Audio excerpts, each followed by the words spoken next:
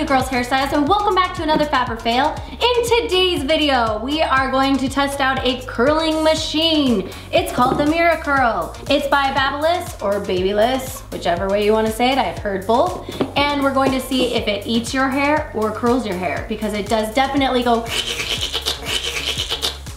so it could be a really bad thing or a good thing. If you guys haven't already subscribed to our channel, be sure to do that by clicking the red subscribe button below and let's get to it. So we are going to attempt to try this. It comes in a box that looks like this at the store. On Amazon, it's about $140, so it's an expensive tool if you don't like it. I'm kind of scared.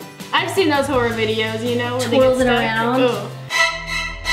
The good news is it could, you know, give you a really pretty curl or it could just tangle the hair all over inside And of then, it. oh, I don't want my hair to And off. then, eh. this might be my second scariest. First, the split ender.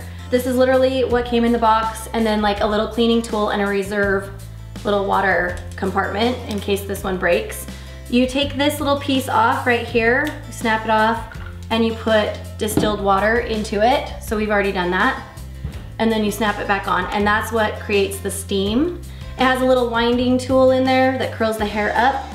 And then you have three little knobs right here. You have your power button that tells you it's on and the different temperatures. The lowest one's 375, the next one's 410, and the next one's 450. So it definitely gets very hot. At 450, that's that's that's, That's pretty dang hot. You have to have really coarse, thick hair Yeah. to require 450, so I do not recommend using that setting unless you have very thick, very coarse hair. If you have fine hair or medium hair, more like Cam, I think we're gonna stick around the 410. The next little setting on here allows you to set a zero seconds, no beeps, or it will beep at eight seconds, 10 seconds, or 12 seconds, and it will tell you basically like you've had your hair in here for 12 seconds, you should release your hair now. Um, and I'm gonna put it on eight and just see what the curl does there first. And then you have the option with the third button to do right curls, left curls, or alternating curls, which I love. By the way, I am just gonna say, cool. the fact that they put the ability on here that it will roll it to the right and then it will roll it to the left and you don't have to do it yourself, thumbs up. And the idea is that you just put it in the hair, push it down, and it curls it. So we're gonna start by just sectioning her hair and getting most of it out of the way for now. So I'm only dealing with the bottom layer and then I'm gonna kind of just divide it in half. I noticed because I'm right-handed, this little winding tool is supposed to be against the head at all times. The problem is that if you are doing it on somebody else, it's kind of holding it funny. Like it would be more natural to hold it like this than like this. But it's designed, camera you hold it. See watch what happens if you're holding it on yourself and pretend Oh, like you're doing a curl. like. See, then it's held correctly. So it's designed for you to be doing it on yourself and then it lands correctly. It says pick up about an inch piece. And because we're on the right side of the head, I'm gonna make sure we're on the right. Yep. We have it set for eight seconds. And it says take about an inch piece. It says it will beep if you have too much hair in it. It won't allow it to curl up into it. And it said put it where you want it. Oops, see I have to do this. This is almost like backwards for me. You have to put it in here and then you're supposed to just clamp it down. And it sucks the hair in. It's weird. And then you heard one beep, two beep, three beep, then release and let it go. And you've got your first curl. Ooh. Voila! it's definitely very curly. Now, if you wanted a little bit looser curls, this is what I would typically do if I were using like a flat iron or a wand. I let it curl. So let, we'll let this curl for a sec. And then release. And then I just give it a tug straight down immediately and that just softens up your curl. So if you want more of like the beachy, like bedhead type looks, don't be afraid to just give it a tug when it's still warm. Okay, I'm gonna notch it up just for kicks and giggles and try 12 seconds.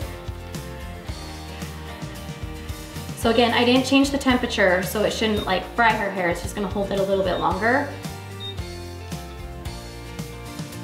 Yeah, and it just gives it just a slightly tighter curl.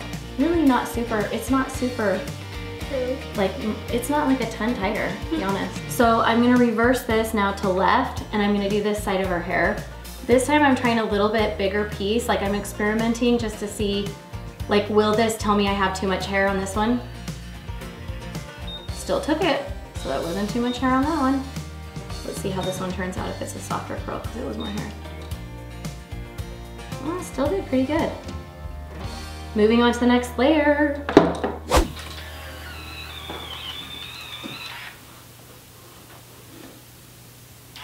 Okay, see that one, it didn't, you, did, you heard it didn't beep because I used too much hair. So it kind of twisted it funny and it could sense that it was twisted funky. And so it stopped, which is good too. And it's supposed to be using steaming, so it's not as bad for your hair either, in theory. Okay, Cameron, you ready to try it on yourself? I don't know. Okay. I need a piece. Is this a good amount? Yeah, that's fine. Just remember this has to go towards your head. That's Okay, so I hold it like this. Yep, yep, Oh, this is scary. Like there? yeah, Just close it? yep.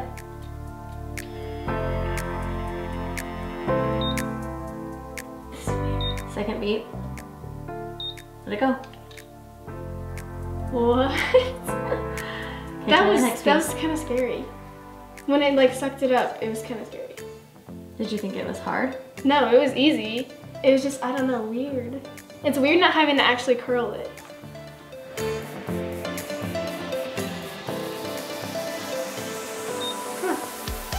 I wish the cord was a little more industrial. Like I love the professional cords and a little longer, but it seems to be doing its job. Okay, we're down to our last couple curls. Now we have, I'll give you a spin, a whole head full of curls.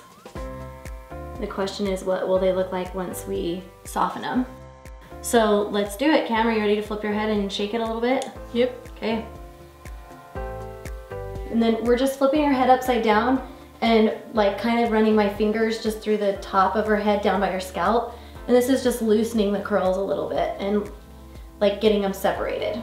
And you can see I'm not using like a brush, I'm not using a comb, I'm literally just kind of finger pulling at the curls just to loosen them up a little bit if they're still like this or they're just sort of like too stuck together still.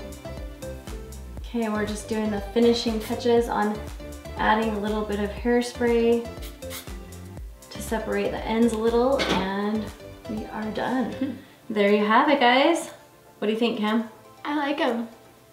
It was a little. It was faster than normal. I think. Do you think a it little was? bit? Yeah. Okay guys, let's do the final spin here with Kamri. You can see the curls in her hair all the way around. Ah, I love it. I really, I'm really impressed. Like I, I think it did a good job. I did not think I was gonna like it. I thought it might eat her hair. Me too. She made me try it on my hair first. Yes. So that if it ate anybody's, it was mine. hers.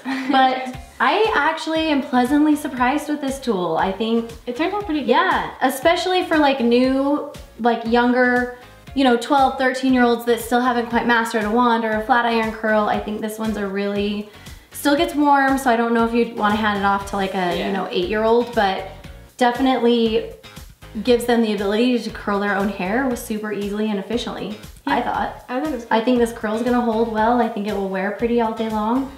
I'm, I'm really impressed. I also really like that it's a steam heat, so it doesn't do as much damage to your hair as just a regular heat, which is really nice. Price point is a little higher Yeah. than most people like to spend on hot tools. I mean, for a nice hot tool, it's it's $140, so you know that's that's expensive to a lot of people. But I know uh, Conair has another version that I think is more like 85. Haven't used it, cannot attest to whether it works or not. But I know that there are other options on the market. This one worked great. So there you go. Um, okay, let's fab or fail it. Cam, what would you do? Fab. Fab, two thumbs up? Yeah. Anything you didn't like? Not really. I mean, I thought it did a good job just overall. It was pretty, it was really nice, especially if you're like, like she said, younger and trying to figure out how to, how long to hold it. Like it's a great training Yeah. tool.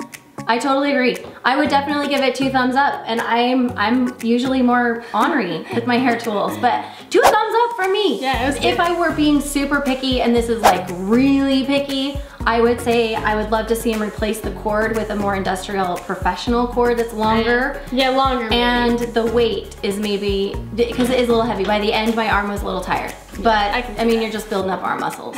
so you don't have to go to the gym for the day. You just curl your hair, and then you're done. If you guys haven't already subscribed to our channel, be sure to do that by clicking the flower right down here. And to see our other Fab or Fails, can we tell them where to go? over here.